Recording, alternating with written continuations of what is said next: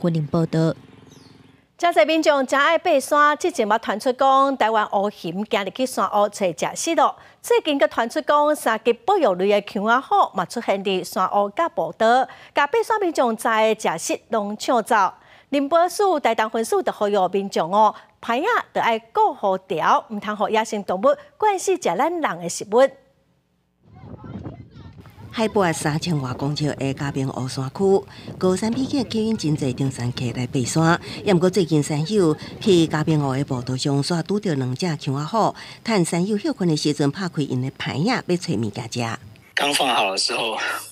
旁边的背包就已经有黄喉貂跑过来，要要找东西吃。我就是稍微赶驱赶了一下，但是他就是应该是我走了之后，他应该是还是有回来了。林波市大东分署表示，最近嘉明湖山屋管理员也发现熊仔虎弄伫山屋也是野地，家破山友的牌影逃走食物的情况，呼吁山友伫步道休困也是住伫山屋，爱将食物包好，避免发出气味。晚上休息的时候，把食物包好，尤其是有气味的，然后再来把整个背包把它吊挂起来，不要就随意置地在地板上。其实，伫南海公路开放专线通车了后，就发现熊仔虎伫路边粪扫堆内找物件食。林博士大东分署表示，这款的情况会影响野生动物的生存能力，而且熊仔虎愈来愈向隔海拔地区活动，呼吁去山区的民众看到野生动物爱离较远的，也爱减少提供人类食物的机会，避免人类甲野生动物的冲突。记者综合报道。